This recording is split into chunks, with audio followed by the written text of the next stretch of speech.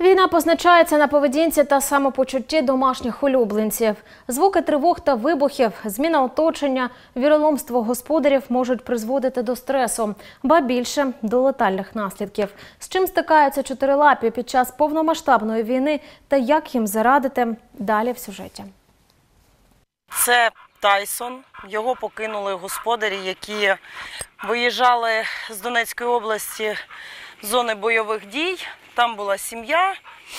Вони заїхали в частний будинок, коли, куди йому, йому разом з господарями дозволили наші дніпряни заселитися. Таке дуже рідко буває, коли надають житло з такими собаками, саме з такою породою. Але згодом господарі поїхали за кордон, а Тайсона покинули. Собака просидів на ціпку на самоті півроку. Небайдужий дідусь підгодовував його, аж поки пса не прихистила пані Олена.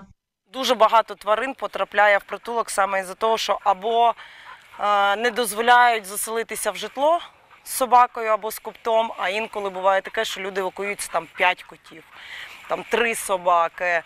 Е, і людям доводиться покидати або отак от прив'язаними, бо притулки переповнені, Олена Мосійчук на псевдомальок, військова парамедик та зоопсихологиня, рятує підбулів, прихищає покинутих та евакуює із зони бойових дій. Зазвичай мені дзвонять е, або військові, або інші волонтери і просто кажуть, мальок, е, там в такій-то такій-то частині України є е, підбуль.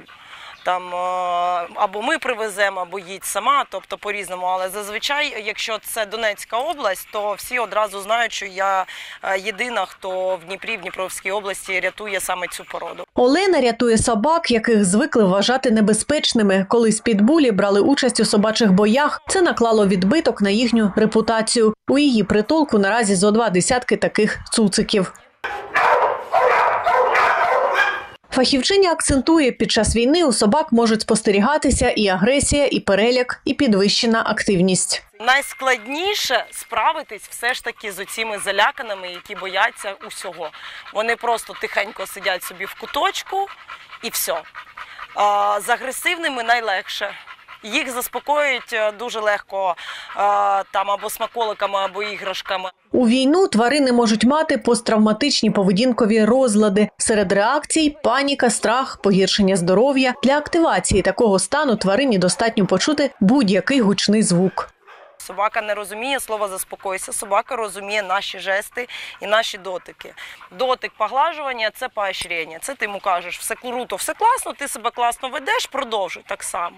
Заспокоїть, посадити, покласти його. Собака заспокоїться в позі лежачи. Неабияке значення має й поведінка господаря. Ви стресуєте, пухнастик віддзеркалює. Вони копіюють, вони дивляться на нас як на вожака. Вони копіюють е, наш стан.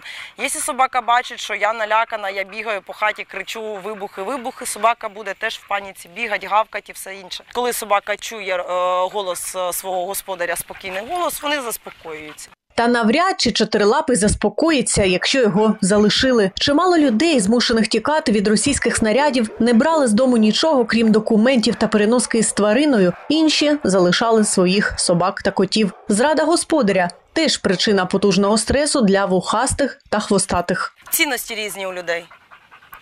Хтось е, полишає все, полишає автівки, полишає золото, долари, свої шикарні будинки, і хапає з собою курей, свиней, е, тих коз на плечах вивозить, бо для них цінність це життя живої, живої, е, живого створіння.